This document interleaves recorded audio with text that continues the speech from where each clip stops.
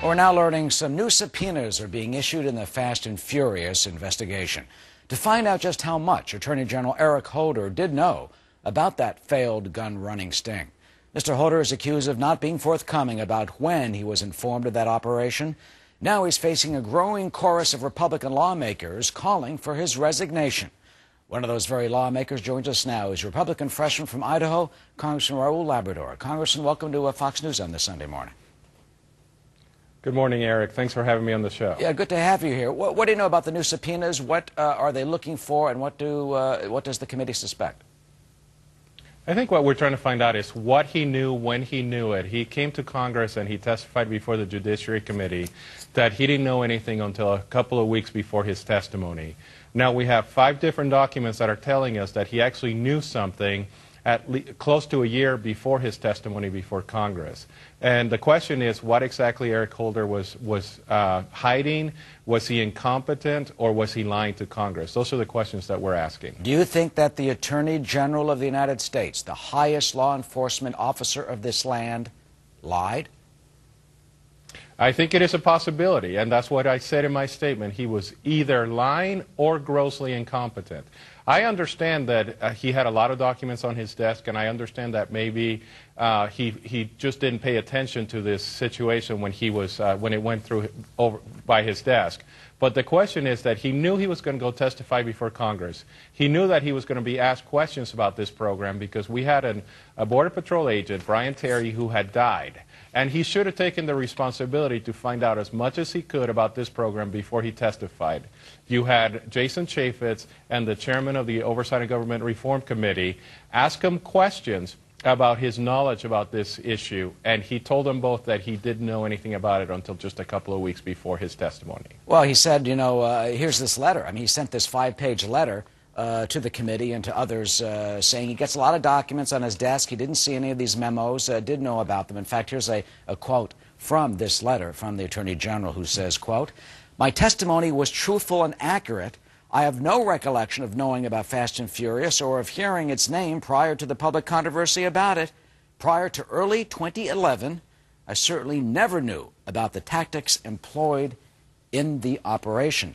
Uh, do you think that's acceptable that the Attorney General wouldn't know anything about this as he claims? I think it's acceptable to understand that a person at the level of the Attorney General, or like a congressman, or even a business owner, has a lot of documents go across his desk. I don't have any problem with him not knowing about it when it came across his desk. The question is that he was going to testify before Congress and he knew that he was going to be asked questions about Fast and Furious. By that time, we knew that Officer Terry had been killed, that there were other, other crimes that were linked to these guns.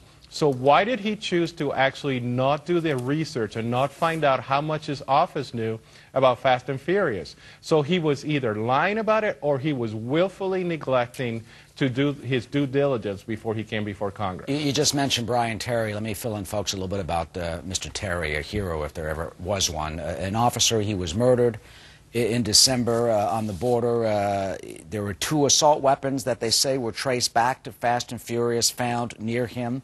His family, when they testified, said, quote, we hope all the individuals involved in Brian's murder and those that played a role in putting the assault weapons in his hands are found and prosecuted. Do you think when the uh, Terry family says all those involved in putting the assault weapons in his, in his hands, the suspects, could be uh, claiming others besides the drug cartels are involved? Absolutely. We need to know at the, at the government level exactly who knew what they knew and when they knew it. We need to know whether it was at the ATF level, whether it was at the higher level at the Attorney General's office, or where it went all the way up to the top of the administration and the President's office. We need to know all these things, and I think Brian Terry's family deserves to have full investigation of what's happening.